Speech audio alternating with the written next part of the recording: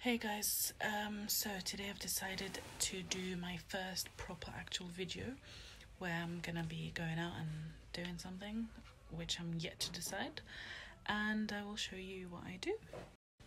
As you can tell I don't have any I don't have any makeup on and probably a lot of the time where I'm vlogging or doing a lot of challenges I probably won't have makeup on. Um, so I've looked around on Google and um, I think I'm gonna go to this place called Sushi Samba. So I'll see how it is and if it's nice and um, yeah, show you a bit. I'll show you around. Okay, guys, um, I just got off at Liverpool Street um, and I'm at Bishopsgate. I think that's I'm here to eat at Sushi Samba. This place, and look how tall the building is. Um, I will review the sushi and I will see what floor we are on and um, let you know if it's any good and show you how it looks inside, the interior and review the food. Alright, so see you in a bit. We are going to the 38th floor and this is how it looks like.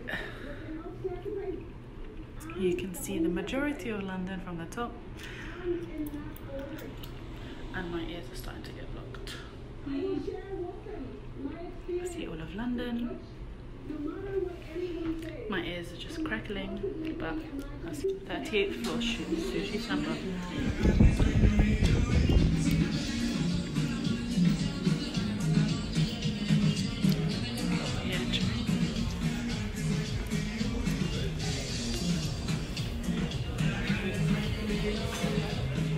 Okay, we are entering. And this is how it looks like. And the view.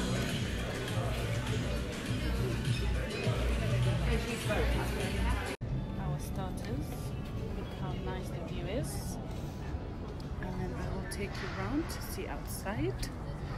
So from here we can see the gherkin. And then far away there is the shard. Uh, this is our food. Um, I'm gonna attempt to eat it with chopsticks and I'll tell you how nice it is. I can't eat with chopsticks to save my life. But it should be cool. Mm. Nice. Okay, so for our last meal, we got some sea bass and some other things on the side with it. And um, yeah, take a look. So you take this and you just squeeze on. I think this is how you do it. so a lovely day at Sushi Samba.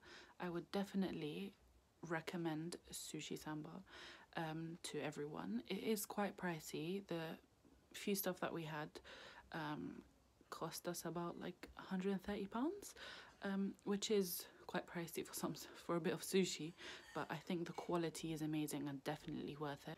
I think it would be a perfect idea for a date or a business meeting. Um, I went with my friend. Unfortunately, she didn't want to be part of the YouTube video, which I totally respect. Anyways, make sure you like, subscribe, comment, and share, and tell me if you would ever consider going to Sushi Samba. Anyways, so I'll see you guys next on my next video. Bye.